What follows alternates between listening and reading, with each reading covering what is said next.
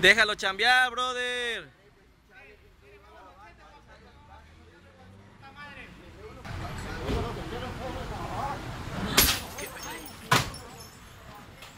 ¿Qué pedo es taxista?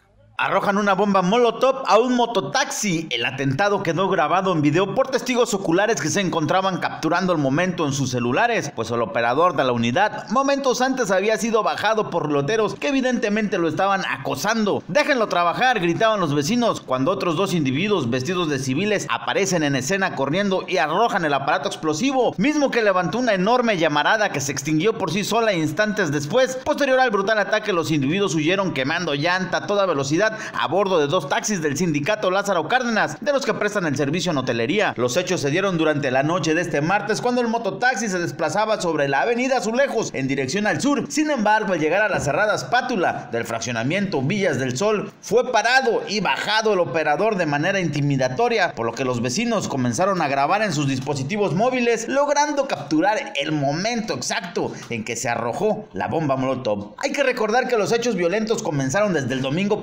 cuando los mototaxis apócrifos arrancaron operaciones no sin antes recibir la bendición de un cura. Desde Playa del Carmen para Notivisión, Edgar Olivares.